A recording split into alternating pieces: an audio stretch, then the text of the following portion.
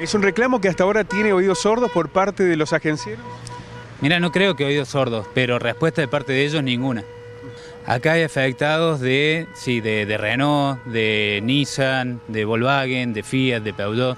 Estamos a la espera de un fallo de la demanda colectiva que debería salir dentro de este mes.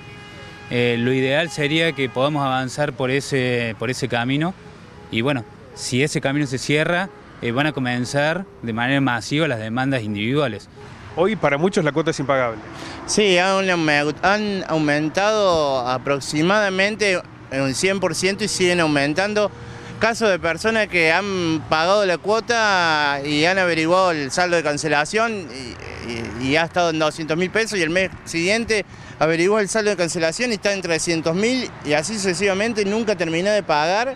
La gran duda es en qué se basan ellos para aumentar el valor de un auto que no se fabrica más, porque los componentes no los tienen que comprar más, eh, la devaluación no está, no está contemplada en el contrato, así que como nosotros compramos auto en pesos deberíamos pagar en pesos. Eh, hay muchos casos de gente que no está pagando, hay muchos casos de que llaman la, llaman a remate.